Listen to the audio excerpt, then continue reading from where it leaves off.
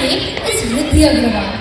Today, I stand before you to talk about a very special day of our country, Republic Day. First of all, I wish all of you a very happy Republic Day. Republic Day is our national festival and is also known as Ganatantra Divas.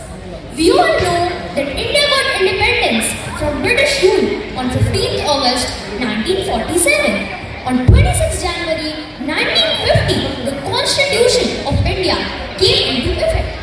On the same day, Dr. Rajendra Prasad became the first president of our country.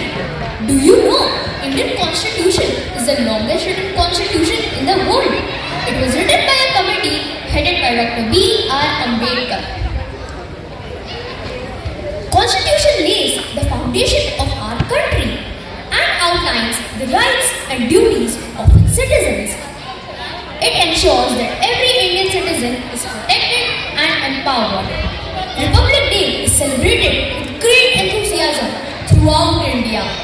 This year, we are celebrating the 75th Republic Day of our country. There is a grand Republic Day parade held at Rajpath, New Delhi. Rajpath is now known as Kartavya Path. This parade is a symbol of our unity and diversity, representing various cultures and traditions.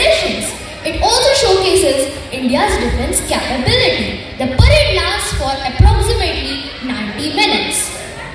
French President Emmanuel Macron is expected to attend the 75th Republic Day parade as a special guest. On this day, schools, colleges, and organizations have flag hosting ceremonies, cultural events, and other patriotic programs. Today, we all should remember the sacrifices made by various freedom fighters and leaders who fought for India's independence. It is a day to remember our past, celebrate our present, and look forward to a bright future.